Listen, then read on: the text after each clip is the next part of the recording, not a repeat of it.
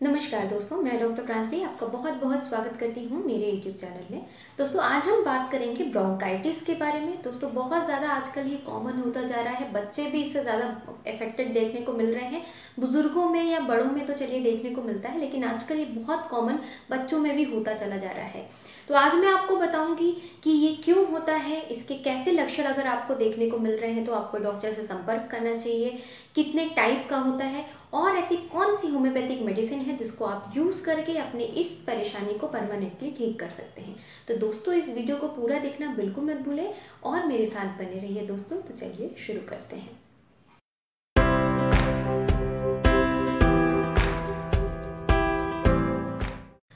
Video शुरू करने से पहले अगर आप मेरे चैनल पे नए हैं, पहली बार मेरा चैनल देख रहे हैं तो मेरे चैनल को सब्सक्राइब करना बिल्कुल मत भूलें।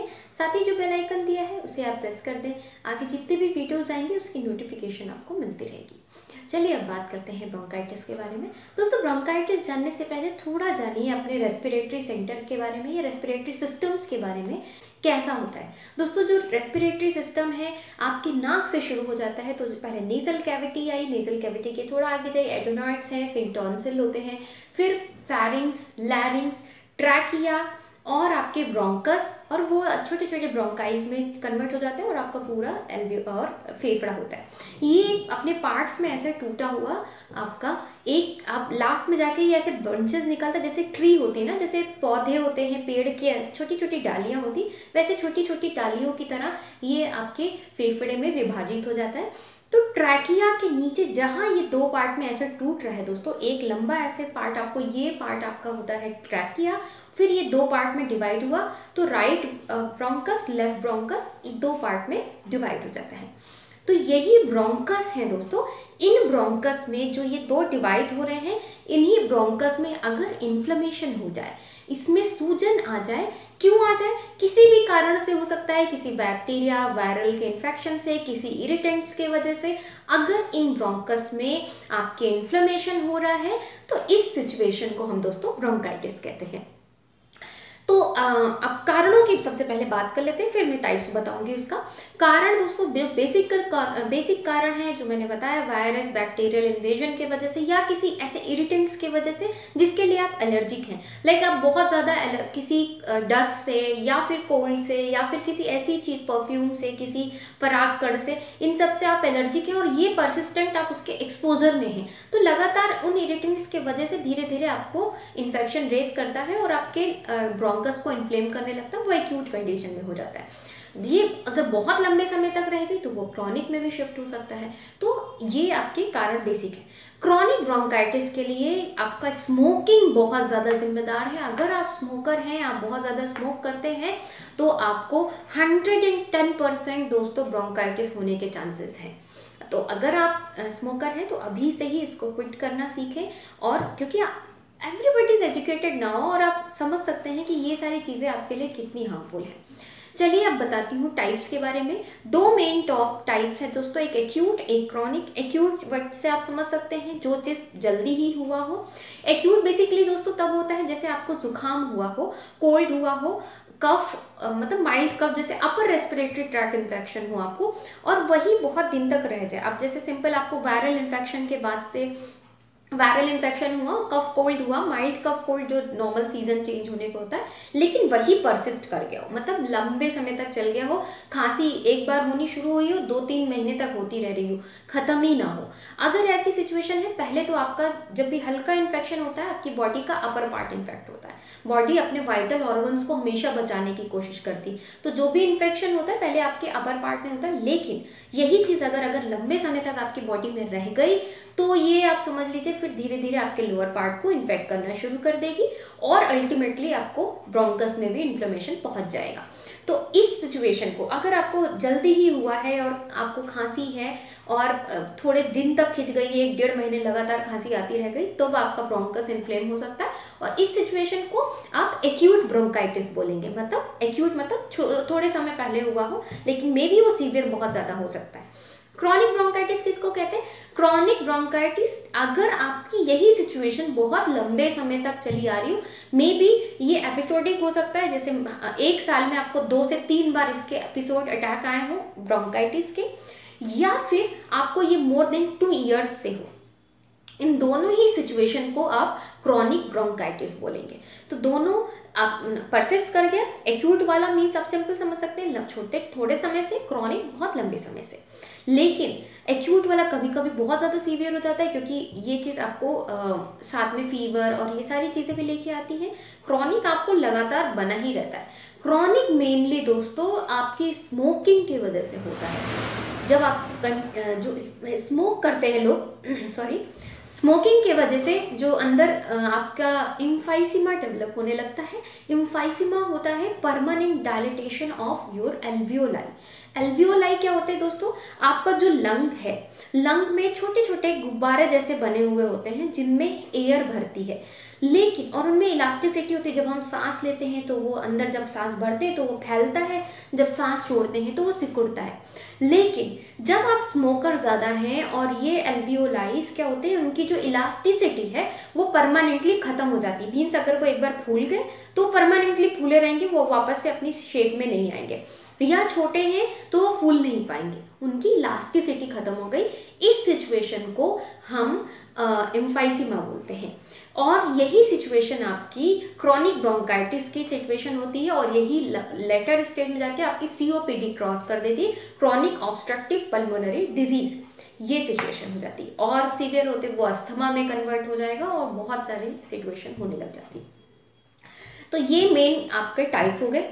बात करते हैं हम इसके सिम्टम्स की। कैसे सिम्टम्स आपको देखने को मिलेंगे? सबसे इंपॉर्टेंट की कफ लगातार खांसी आती रहना एक्यूट सिचुएशन में है तो लगातार हफ़्ते सॉरी हफ़्ता नहीं, एक महीने, डेढ़ महीने से लगातार आपको खांसी आ ही रही है। आपको वीजिंग मिलेगी, आपको, आप जब आप डॉक्टर आपको चेक करेगा तो आपके सीने से एक साइंड ऑफ़ काइंड ऑफ़ साउंड आएगा। वीजिंग सेंसेशन होता है। म्यूकस भरा सा लगे घड़ घड़ वाला साउंड आएगा। बहुत लोगों को, मैं ये दोनों का ही बता रही हूँ, दोनों ही सिचुएशन में एक्यूट और क्रॉनिक दोनों में ऑलमोस्ट सेम सिम्टम्स ही मिलेंगे। जो बहुत सारे एक्यूट में ऐसा हो सकता है कि हल्का आपको बुखार भी रह सकता है, बहुत ज़्यादा आपको डलनेस लगेगी। जब भी आप थोड़ा मूवमेंट करेंगे, आपको खांसी आएगी, आपको सांस लेने में दिक्कत लगेगी, थोड़ा चलेंगे तो सांस फूलेगी, सोने में बहुत अनईजी सा फील होगा आपको ऐसा चेस्ट फुलनेस फील होगी, जैसे चेस्ट एकदम टाइट सा हो रहा है, ऐसी सिचुएशन होने लगेगी। ये सारे सिम्टम्स आपको दोस्तों ब्रोंकाइटिस के हैं।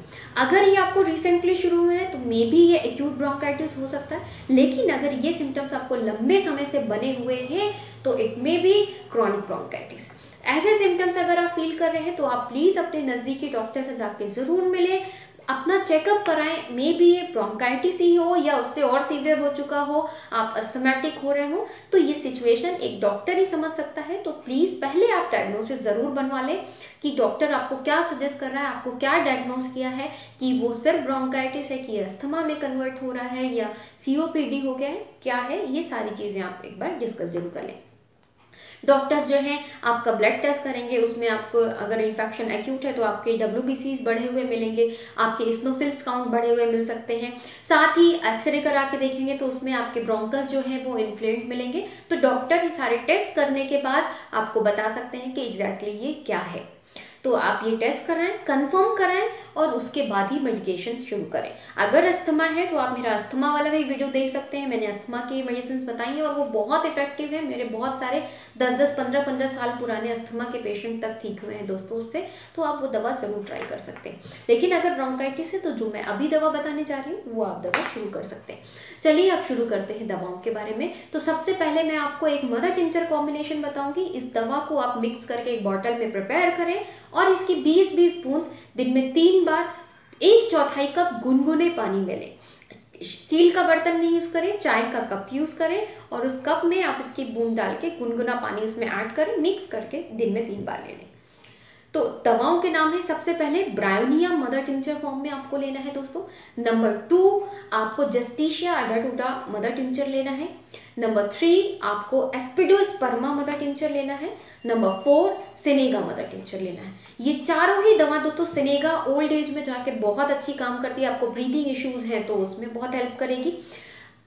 एस्पिडोस्पेरमा आपके रेस्पिरेटरी सेंटर्स को एक्टिवेट करने का काम करती है. तो अगर आपको ब्रीदिंग इश्यूज़ हो रहे हैं, आपको सांस लेने में परेशानी हो रही है that aspido aspidosperma will help you a lot same bryonia भी कंजेशन बहुत ज़्यादा है आपको तो कंजेशन रिलीज़ करने में आपको बहुत मदद करेगी। साथ ही जस्टिशिया बहुत हेल्पफुल मेडिसिन है रेस्पिरेटरी ट्रबल की। तो ये चारों दवाएँ आपको एक बॉटल में मिक्स करनी है। आप उसको रखें अपने पास और उसकी बीस बूथ लेके, जैसे मैंने बताया, वैसे लेनी है। दूसरी आपको दोस्तों रेक्वेक की आर नाइन लेनी है। आर नाइन दोस्तों बहुत ही अच्छा ड्रॉप है। इसके जो कंटेंट है, वो स्पेसिफिकली चाहे आपको ड्राई कॉफ हो वेट कॉफ हो, दोनों पे बहुत अच्छी काम करती है। तो आपको आर नाइन की भी टेन ड्रॉप्स दिन में तीन बार थोड़े से आप लगभग दो चम्मच पानी ले लें, उसमें इसकी टेन ड्रॉप डालें और इसके दिन में तीन बार ले लें। अगर आपको ज़्यादा सिवियरिटी है तो एक और दो दिन आप कम से कम इसके हर दो दो घंटे में ले सकते हैं। और अगर जब थोड़ा सा बेटरमेंट हो जाए तो वह वापस से तीन बार कर ले।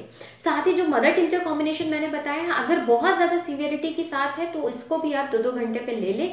जब थोड़ा सा बेटर फील करने लगे तो वापस से तीन टाइम पे आ जाए। डिपेंड्स ऑन द सिचुएशन आप ऐसा कर सकते हैं।